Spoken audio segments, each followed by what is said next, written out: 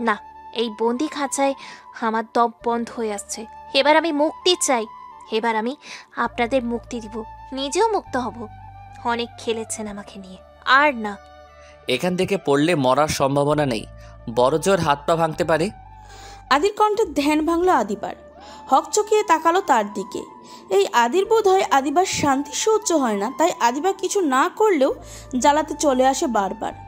এত সব কাহিনী আদিবার আর ভালো লাগছে না। তাই একটু দম নিতে ছাদে এসেছিল। আদি সেটাও সহ্য হয়নি। আদিবা গিয়ে দাঁড়ানোর কয়েক মিনিটের মধ্যে সেও গিয়ে হাজির হলো। আদিবার রেলিংয়ের পাশে দাঁড়িয়ে সামনের দিকে তাকিয়ে আছে আর নিজের অবস্থার কথা ভাবছিল। হঠাৎ আদি পিছন থেকে এমন কথা বলে উঠল আদিবা ভ্রুকুচকে বলল কি বলে? বললাম সুইসাইডের চেষ্টাটা বরং বাদ দে। কারণ চেষ্টা করে লাভ নেই আমি তোকে এত শান্তিতে মরতে দিব না। আপনার ঠিক কি কারণে মনে হলো আমি মরতে চাই? এই বিয়েতে তোর মত নেই আমি জানি। যে দেখিয়ে রাজি হয়েছিস এখন বুঝতে পেরেছিস ভুল করে ফেলেছিস কিন্তু তোর ঘাড়ের রক দুটো তো তেরা তাই নিজের ভুল স্বীকার করতে পারবি না। সেই জন্য এখন আত্মহত্যা কর ভুলের প্রায়শ্চিত করবি তাই তো? এত অদ্ভুত কথা আপনার মাথায় আসে কি করে কে জানে? শুনুন না তো আমি যে দেখিয়ে রাজি হয়েছি আর না তো এখানে সুসাইড করতে এসেছি। আর আমি জীবনে যত ভুলই করি না কেন কখনো আত্মহত্যার মতো জঘন্য কাজ কখনো করব না। আলহামদুলিল্লাহ শুনে ভালো লাগল। কিন্তু তুই বরাবরই ন্যাকা টাইপের মেয়ে তাই তোর কথার কোনো ভরসা নেই? আচ্ছা আপনি আমার পিছু কবে ছাড়বেন বলুন তো? আমি ইচ্ছে করে এসেছি নাকি? তুই অনাকাঙ্ক্ষিতভাবে মরে গেলে আমি ফেসে যাব না? তাই তো আসতে বাধ্য হয়েছি। ভালো করেছেন। এখন দাঁড়িয়ে দাঁড়িয়ে আকাশে তারা গুনুন। আর আমাকে যেতে দিন। বলেই আদিবা পা বাড়ালো। আদি পিছন থেকে গম্ভীর গলায় বলে উঠল আদিবার সামনের শুক্রবার তোর বিয়ের দিন ঠিক করা হয়েছে। আদির কথায় পা দুটো আটকে গেল আদিবার। পিছন ঘুরে তাকালো। আদি অন্যদিকে তাকিয়ে কথাটা বলছে তবে আদির মধ্যে তবে আদির মধ্যে ফাজলামি আচরণটা আর নেই। সে যেন এক মুহূর্তে বদলে গেছে। চঞ্চলতা বিলীন হয়ে মুখ কালো হয়ে এসেছে। আদির কি মন খারাপ লাগছে জানতে ইচ্ছা করল আদিবার। কিন্তু আদি তার দিকে তাকায়নি তাকিয়ে আছে ছাদের ওপাশটায়। আদিবা কি বলবে কীভাবে বলবে ভাবতে ভাবতেই আদি আবারও নীরব গলায় প্রশ্ন করল তোর কি আমাকে কিছু বলার আছে আদিবা? আদিবা উত্তর দিতে পারল না। অনেক কিছু বলতে ইচ্ছা করলেও কথাগুলো যেন কোথাও এসে আটকে যাচ্ছে মুখ ফুটে বের হচ্ছে না কথাগুলো। আদিবা ঠাই দাঁড়িয়ে আছে। কিছু বলার নেই তাই না? কী বা বলবি? তোর তো আমার সাথে কথা বলতে ইচ্ছে করে না।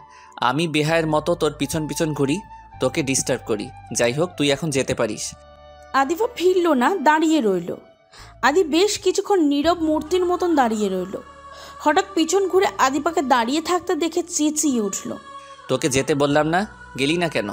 দাঁড়িয়ে দাঁড়িয়ে কি দেখিস? আদির ধমকে ভিতরটা কেঁপে উঠল আদিবার। আ- আ- আমি মানে? নাটক করতে খুব ভালো লাগে তাই না? তোর এই সহজ সরল চেহারার পিছনে লুকানো বিষাক্ত চেহারাটা দিন দিন আমার জীবনটা অতিষ্ঠ করে তুলছে। আমি বিষাক্ত? তোর কি তা মনে হয় না? জানিস আমি সবচেয়ে বেশি ঘৃণা করি কাদের? যারা মুখে মধু অন্তরে বিষ রেখে চলে। মানে? তুই কতটা জেদি সেটা আমার চেয়ে ভালো বোধ হয় কেউ জানে না। তুই তোর জেদ রাখতে খুন করতেও দুবার ভাববি না। তোর সাথে সারা জীবন পার করা জাস্ট অসম্ভব। তোর সাথে থাকলে হয় তোকে খুন করতে হবে অথবা নিজেকে। আমি এতটাই? হ্যাঁ তুই এতটাই বিষাক্ত। আর আপনি? কখন আমাকে এতটুকু শান্তি দিয়েছেন? আদি আবারও চেঁচিয়ে উঠল। না দেইনি। আমি খারাপ এই দুনিয়ার সবচেয়ে খারাপ ছেলে আমি। আমার সাথে থাকা যায় না জন্যই তো আমাকে বাড়ি থেকে বের করে দিয়েছিলি। আমি বের করে দিয়েছিলাম। বাধ্য করেছিলি আমাকে বেরিয়ে যেতে বাধ্য করেছিলি। আমি তোর দুই মুখ আচরণ মেনে নিতে পারিনি। এই জন্যই চলে গিয়েছিলাম। যাই হোক তুই এখন এখান থেকে যা প্লিজ। আমি তো যেতেই চাই। আপনি যেতে দিচ্ছেন কোথায়? আমাকে প্লিজ আপনার ছায়া থেকে মুক্তি দিন। আদি আর কিছু না বলে এসে ঘাড় ধাক্কা দিয়ে আদিপাকে বের করে দিয়ে ছাদের দরজা লাগিয়ে দিল। আদিবা কথা বাড়ালো না ছলাছল চোখে নেমে আসলো। আদির ব্যবহারে কষ্ট পেল আদিবা আর যাই হোক এটাকে ভালোবাসা বলে না। এক মুহূর্ত ভালো পর মুহূর্তে ঘাড় ধাক্কা এটা কিছুতেই ভালোবাসা হতে পারে না। আদিবা সারা রাত চোখের জলের সাথেই কাটিয়ে দিল। পরের দিন সকালে খাবার টেবিলে সবাই আসলো, আদি কিছুতেই আসতে চাইছিল না। জুই এক প্রকার জোর করে নিয়ে এসেছে। আদিবা সবাইকে নাস্তা দেয়। প্রতিদিনের মতন আদির পাতেও খাবার দিল, কিন্তু সাথে সাথে আদি উঠে গেল। আর কাউকে কিছু বলার সুযোগ না দিয়ে বেরিয়ে গেল। আদিবার খারাপ লাগলেও আদির এমন ব্যবহারের কারণ খুঁজে পেল না। কি হচ্ছে এসব? আদিব কেন এমন করছে? আর বোধগম্য হচ্ছে না। দেখতে দেখতে সকাল গড়িয়ে বিকেল বিকেলে আদি বাসায় ফিরল। আদি বাসায় ফিরলেও বাসায় কারোর সাথে কোনো কথা বলেনি নিজেই চলে গেছে। আদির সারাদিন খায়নি ব্যাপারটা আদিবা মানতে পারেনি। তাই আদির ঘরে যাওয়ার কিছুক্ষণ পর আদিবা প্লেটে খাবার নিয়ে আদির ঘরে গেল। আদিবাকে দেখে আদি রাগে তেতে উঠল। কি চাই? আপনার খাবারটা। আমি তো খাবার চাইনি। আমাকে প্লিজ রাগাস না দিবা আদিবা কিছু বলতে যাবে ঠিক তখনই অরিনের গলা ভেসে আসলো। আদিবা দেখে যা তোর জন্য কত কিছু এসেছে। আদিবা অরিনের কথায় কান দিতে যাবে তার আগে আদিত্য আদিবাকে নিয়ে বের হয়ে আসলো। নিচে নেমে আদিবা অবাক হলো। তার বিয়ের তত্ত্ব এসেছে। শাড়ি থেকে শুরু করে দামি দামি অলঙ্কার মেকআপ সামগ্রী সব আছে। জুই সাদিয়া অরিন সবাই সব কিছু খুলে খুলে দেখছে। আদিবা নিজেও এগিয়ে গিয়ে জিনিসগুলোতে চোখ বুলিয়ে আদির দিকে তাকালো। আদি মুখে হতাশার হাসি টেনে বলল বলেছিলাম না ওই পরিবারে বিয়ে হলে আদিবা রাজরানী হয়ে থাকবি। আদিবা তোর সব কিছু পছন্দ হয়েছে তো? বলে আদি আবারও বের হয়ে গেল। কিন্তু এবার আর ফেরার নাম নিচ্ছে না। সন্ধ্যা গড়িয়ে রাত রাত থেকে মধ্যরাত আদির খোঁজ নেই। বাসার সবাই তাতে মাথা না ঘামালেও আদিবার মনে শান্তি নেই। সবাই ঘুমিয়ে গিয়েছে, তবে আদিপার চোখে ঘুম নেই। সে বসে বসে আদির জন্য অপেক্ষা করছে। ঘড়ির কাথায় রাত একটা বেজেছে কিন্তু আদির ফেরার নাম নেই দেখে আদিবার মন খচখচ করতে লাগল। তখন হঠাৎ হেলতে দুলতে বাসায় ঢুকলো আদিত্য। আদি ঠিক মতন দাঁড়াতে পারছে না এখানে ওখানে ধাক্কা খেতে খেতে এগিয়ে আসছে। আদি পড়ে যাচ্ছিল দেখে আদিবার দৌড়ে গিয়ে আদিকে ধরলো। আদি পিট পিট করে তাকিয়ে বলল আদিবা ঘুমাসনি এখনও? আদিকে এই অবস্থায় দেখে আদিবার রাগ হচ্ছে নাকি খারাপ লাগছে নিজেই বুঝতে পারল না। কিন্তু ঘৃণাভর্তি অনুভূতি নিয়ে বলে উঠল আপনি মদ খেয়েছেন? লজ্জা করল না? এমন একটা কাণ্ড ঘটাতে? আদি ঢলতে ঢলতে আদিপাকে নিজের থেকে সরিয়ে দিয়ে চেঁচিয়ে উঠল। না লজ্জা করছে না। আমার লজ্জা করছে না। আমি আর এসব নিতে পারছি না। আমি তোকে ভুলতে চাই। আমি বাঁচতে চাই আদিবা। আমাকে তুই তোর মায়াজাল থেকে মুক্তি দে প্লিজ। আমাকে নিয়ে আর খেলিস না। আমি কখনো আপনার কথা অবাধ্য হইনি। হতে পারিনি। আপনি সব সময় যা চেয়েছেন আমার সাথে তাই করেছেন। তবুও আমি বিষাক্ত। আমি আপনাকে কষ্ট দিচ্ছি, আপনাকে নিয়ে খেলছি। শুনেছি মাতাল অবস্থায় সবাই নাকি সত্যি বলে। আপনি সত্যি আমাকে মন থেকে চান না। জন্যই এগুলো বলছেন। ঠিক আছে, আমি যেহেতু আপনার কষ্টের কারণ, তখন আমি এবার সত্যিই আপনাকে ছেড়ে চলে যাব। আমি আর আপনার কষ্টের কারণ হতে চাই না। আদিবা কি কি বলছে আদির কানে পৌঁছায়নি। সে নেশায় বুধ হয়ে আছে। আদিবা আদিকে কোনো রকম ঘরে নিয়ে গিয়ে শুয়ে দিয়ে নিজের ঘরে ফিরে আসলো।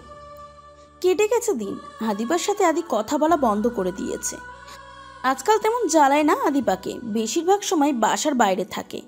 সকালবেলা বেরিয়ে যায় আর রাতে ফেরে। বাসায় তেমন থাকে না। আদিবাকে সে মোটামুটি এড়িয়ে যাচ্ছে। আদিবাও নিজেকে আদির কাছ থেকে গুটি নিয়েছে। দেখতে দেখতে বিয়ের দিন এগিয়ে আসছে। বাসার সবাই এই বিয়ে নিয়ে কিঞ্চিত চিন্তিত। আর দুদিন পরেই বিয়ে। আদি নিজের হাতে সব জোগাড় করছে। এইসবের মাঝে জুই আর সাদিয়া কিছুতেই সুখী হতে পারছে না। বাসায় গায়ে হলুদের আয়োজন হচ্ছে। দেখে সাদিয়া চুপ থাকতে পারল না। সে সুযোগ বুঝে মায়ের ঘরে গেল। আর জুই গেল আদিপার ঘরে। ঘরে ঢুকে সাদিয়াকে দরজা বন্ধ করতে দেখে শাহানা বেগম ভ্রু কুচকালেন। কি বলবি? মা তুমি কিছু বলছো না কেন?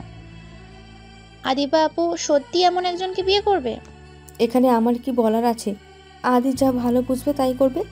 মা হিসেবে তোমার কোনো দায় নেই। এমনভাবে কথা বলছিস যেন আদিবাকে হাত পা বেঁধে জলে ফেলে দেওয়া হচ্ছে? এটাকে জলে ফেলা বলে না এত বয়স্ক একজনের সাথে বিয়ে। পুরুষ মানুষটা আমার বয়স কি মেয়েরা করিতেই বলি দেখবি? বিয়ের পর ঠিক মানিয়ে নিয়েছে। তাছাড়া দেখেছিস পাত্রের বাড়ি থেকে কত কত গয়না পাঠিয়েছে? আদি নিজে তো তোকে এত গয়না দিতে পারবে না। মা চুপ করবে তুমি? তোমার কি মনে হয়? ভাইয়া এমন যখন একটা অন্যায় করার পরেও আমি ওনাকে বিয়ে করব। চুপ একদম চুপ। বিয়ে করবি না এই কথা। যদি আর একবার মুখে এনেছিস তো তোকে আমি আদির মতো ছেলের ডাকে একটা মেলে। মা তুমি কি মানুষ? সে ছোটবেলা থেকে আপুর সাথে অন্যায় করে আসছো। আজও নিজেকে বদলাতে পারলে না? এত চ্যাটাং চ্যাটাং কথা যে বলছিস আদি যদি আমাদের ওপর থেকে হাত তুলে নেয় কী হবে বুঝতে পারছিস? তাছাড়া এর চেয়ে ভালো পাত্র তুই খুঁজে বের করতে পারবি? পারবি যৌতুক ছাড়া মেয়ে পার করতে? তোমার সাথে কথা বলেই লাভ নেই। আপু ঠিকই বলতো ও তোমার নিজের মেয়ে না সৎ মেয়ে। নিজের মা এমন স্বার্থলোভী হতে পারে এটা এটা কালেও কেউ ভেবেছিল কি?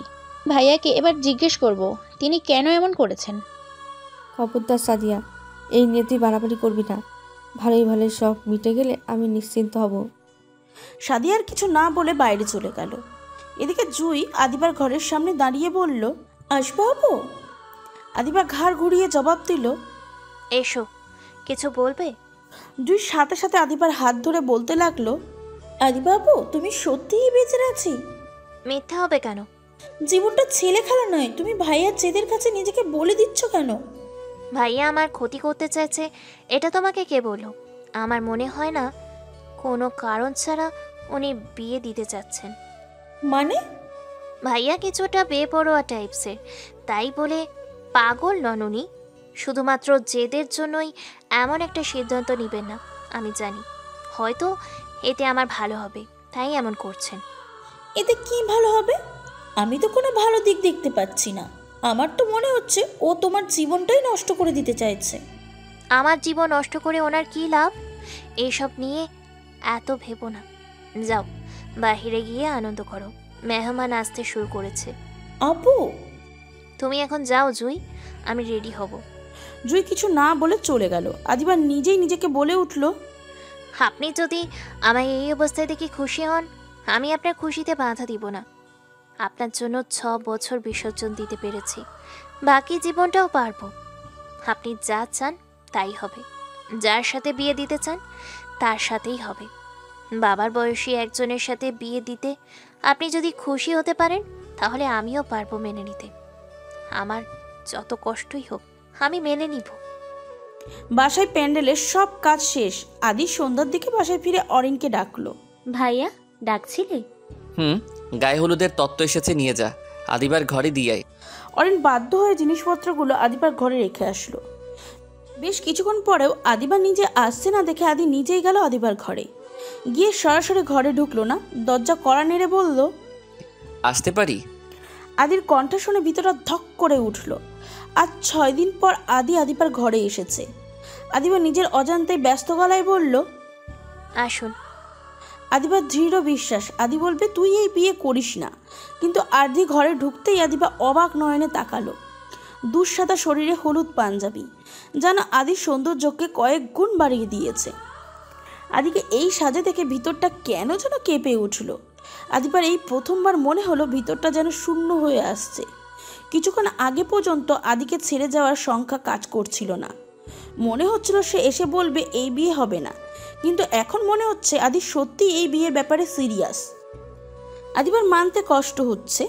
আজ থেকে আদি নামক ব্যক্তিটির উপর থেকে তার অধিকার পুরোপুরি মুছে যাবে। আদিবা চুপ করে দাঁড়িয়ে আছে। দেখে আদি বলল রেডি হোস নিজে? মনের মাঝে এক আকাশ বিষণ্ণতা চাপা দিয়ে আদিবা জবাব দিল এই তো হব। হুম তাড়াতাড়ি কর। ওই বাসা থেকে লোকজন চলে এসেছে। সবাই অপেক্ষা করছে। একটু তাড়াতাড়ি গেলে ভালো হয়। আদিবা আদির দিকে তীক্ষ্ণ চোখে তাকিয়ে বোঝার চেষ্টা করল, আদির মাঝে কি তাকে হারিয়ে ফেলার কোনো ভয় কাজ করছে না? না, আদির চোখে মুখে বিষণ্ণতার কোনো ছাপ নেই নেই কোনো ভয় বা সংকোচ, সে দিব্যেই আছে। আদিবা, বিয়ের আয়োজন শেষ, আশা করছি তুই আমাদের মান সম্মান নিয়ে খেলবি না।